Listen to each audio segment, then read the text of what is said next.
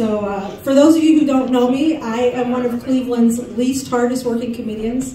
Um, thank you. Thank you.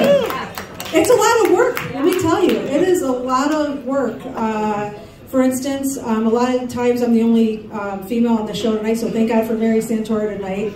Um, but yeah, usually, uh, do you know how hard it is to try to sync your period with nine male comedians?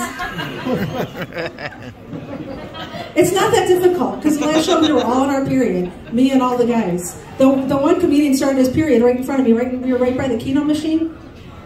And uh, yeah, he was embarrassed because he didn't have any tampons on him. And uh, I said, you know, don't don't be upset. You know, I, I got I got plenty. Um, so I reached down to, I keep extras.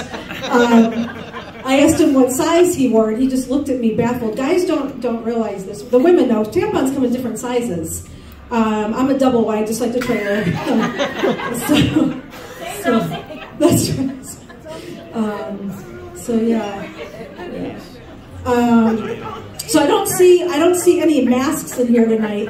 But if there's anybody in here that's still concerned about COVID, um, I, I did have both of my shots at the bar before I came up. Um, coincidentally, I also had an abortion um, while I was over there. I'm kidding, I'm kidding, I don't drink. Um, I don't drink, I don't smoke. I'm actually one of those goody-goody, like perfect people. Um, I went to a Catholic school once just to pee, I ran in to use a bathroom and got the hell out of there. Um, that, was, about it. Um, I, uh, I, uh, I'm from I'm from a small town called Lorain. Are you guys familiar? Um, thank you. Not to brag, but we have a really high homicide rate there. Um, so for every uh, nine murders, the tenth one we get a free pick to at Panera. So it's, it works out. The math just works itself out. Um, so, in all honesty, I, I, I want uh, I want my vagina to be famous, um, and I'm not going to do OnlyFans because that's that's the easy way out. You heard Bill talking about it, you know.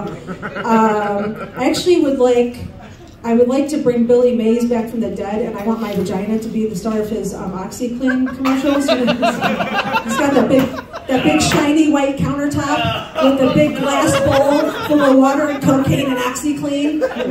You don't need a dirty white towel, dirty white stained towel. All we need is my dirty white stained pussy. That's what's going in that bowl. You guys have been great. I'm Melissa Logsdon. Thank you so much. Check me out online. Give it up for Bill Squire. Give it go for Melissa, everybody.